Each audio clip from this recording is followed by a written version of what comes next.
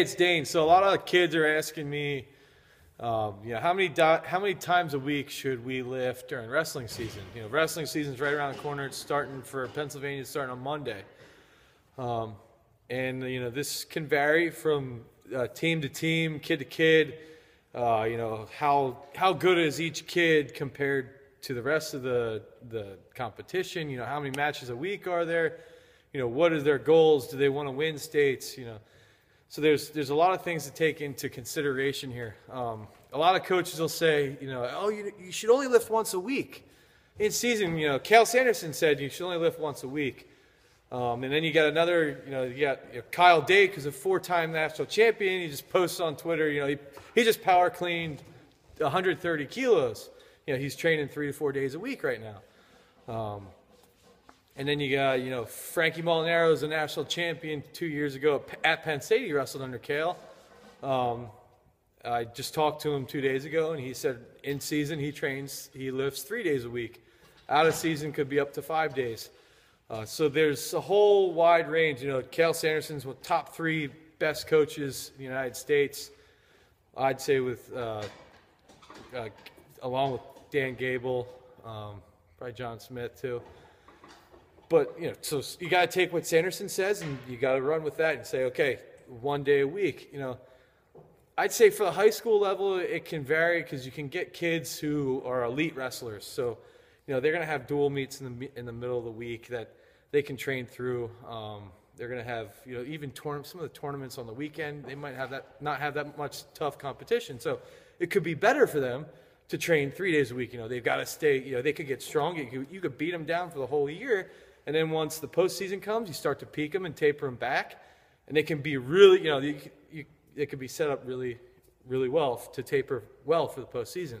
You know, then you got another kid who could be a run-of-the-mill wrestler. He's got to work on his technique more, so he should be wrestling a lot more. And you know, maybe he only trains once or twice a week.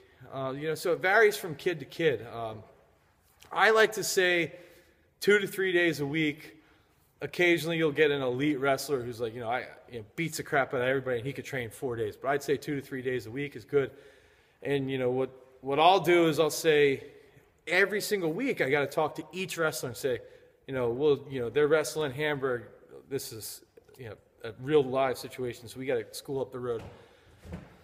They're wrestling Hamburg. They've got a tough kid at 45. Well, but they got a weak kid at, you know, 60 and 70. So, you know, this kid I got a kid who's wrestling at 170. He's wrestling a weak kid. He's going to pin him in the first period. I can train him through that match. The other kid's got a tough kid.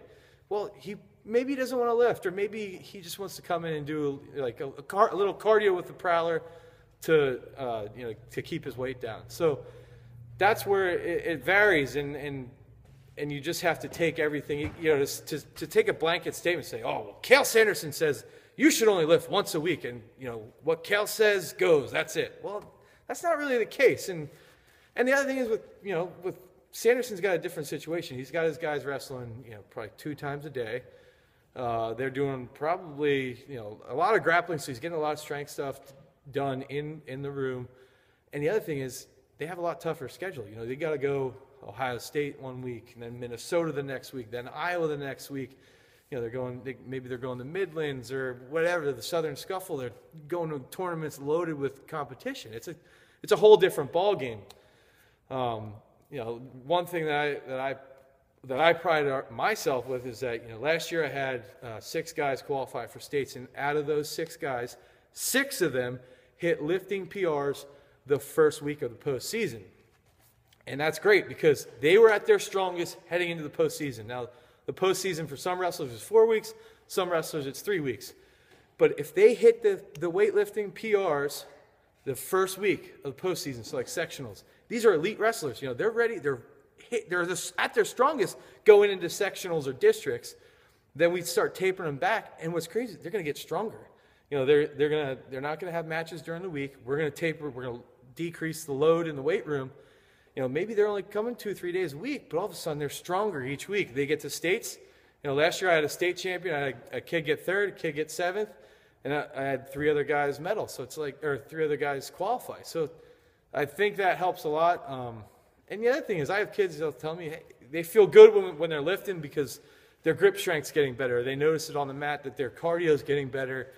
So those are and and uh, in regards to cardio, you know, weight loss is is a lot of high school kids suck weight as poorly as they possibly can. So one thing that I like having them do is say, look, instead of going out for a jog where you're gonna, you know, you're running every night and you're actually losing muscle mass, let's come in here, we'll hammer the prowler, do some jumps, do some cleans and stuff like that. Keep your explosiveness up. They're crushing the prowler. They're actually going to get stronger. Their cardio is going to go up, and then we can start ingraining, you know, proper nutrition. So.